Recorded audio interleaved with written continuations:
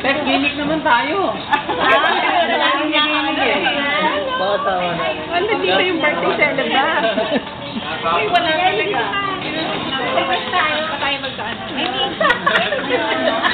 Ano, di na tayo magkakalo. Cute. Na siya. Nag-hindi na ako ng. Okay yan, okay yan. Maybe in the Philippines lang yan. Ay, ako yung ba matiin?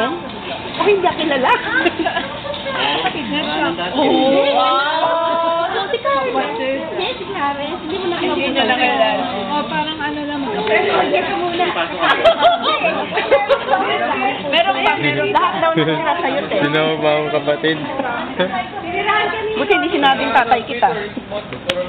Nagagalit mo.